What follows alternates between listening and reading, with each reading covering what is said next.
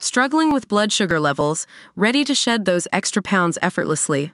Look no further. Sugar Defender, the number one rated blood sugar formula, is here to transform your health and help you achieve your wellness goals. Click the link in the video description to get started with Sugar Defender today. Selena Gomez and Benny Blanco were spotted packing on the PDA following their ritzy Malibu date night.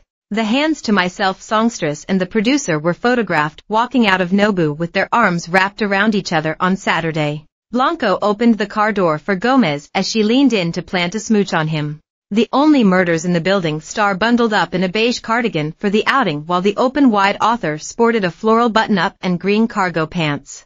Gomez, 31, and Blanco, 36, have seemingly been spending more time with each other as she's returned from filming her hit Hulu show and attending the Cannes Film Festival. Last week, they reunited as the award-winning songwriter posted a photo of his girlfriend to his Instagram story, writing, She's back. By clicking above you agree to the terms of use and privacy policy. The cozy snap saw the actress lounging on a bed with her eyes shut.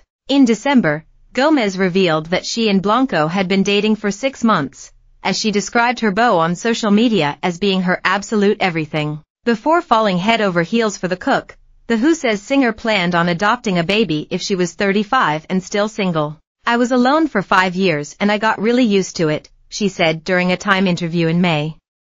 A lot of people are afraid of being alone and I probably tortured myself in my head for like two years being alone, and then I kind of accepted it. Gomez admitted she wanted to adopt a baby if she had not met anyone, but Blanco came to her when she least expected it. Kids might be on the horizon for the couple as Blanco also confirmed his next goal was to have a child with the same old love singer.